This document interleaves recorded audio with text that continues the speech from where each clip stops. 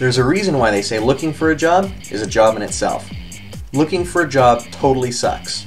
And even the psychotic way can only take out a little bit of the stress for you, so staying organized is going to be your best friend through this entire process. Owning your online identity and making sure it's as sharp as possible is going to be the next key to your success because that will keep job offers coming in even when you're not looking for them. Making sure that you are uh, owning your own personality and making sure that that personality is reflected in the jobs that you're taking, the work that you do, is the key to owning your happiness.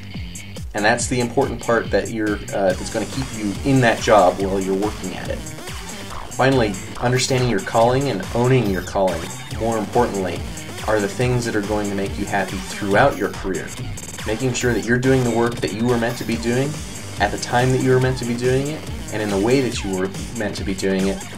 Those are all important things.